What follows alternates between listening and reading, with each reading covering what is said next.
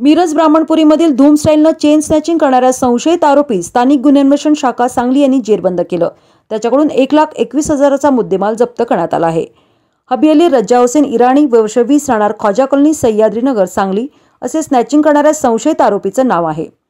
Police अधीक्षक Suhel Sharma upper police अधीक्षक मनीषा दुबुले यांनी मिरज ब्राह्मणपुरीमधील जुम्मा मशिदीजवळ झालेल्या जबरी चोरीच्या गुन्ह्यातील आरोपीचा शोध घेऊन सदरचा गुन्हा उघड करण्याबाबत सूचना दिल्या. त्याप्रमाणे पोलीस निरीक्षक श्रीकांत पिंगळे यांनी एक खास पथक तयार केलं.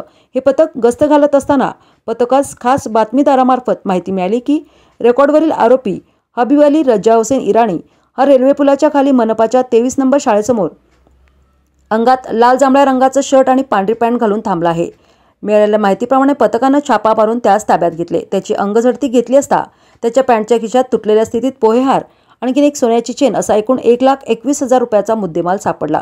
त्याची कसून चौकशी केली असता सोमवारी साडेसहा वाजण्याच्या दरम्यान त्यानं आणि त्याच्या साथीदार असे मिळून मिरज ब्राह्मणपुरीमधील जुम्मा मशिदीजवळ एका वयस्कर महिलेच्या गळ्यातील जबरी चोरी केली असल्याची कबुली दिली आहे.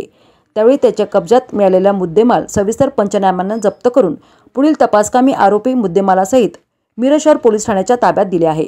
हा आरोपी रेकॉर्डवरील असून या त्याचे यापूर्वी मिरज शहर पोलीस ठाणे येथे जबरी चोरीचे दोन गुन्हे दाखल आहेत. सदरची कारवाई पोलीस निरीक्षक श्रीकांत पिंगळे यांच्या मार्गदर्शनाखाली.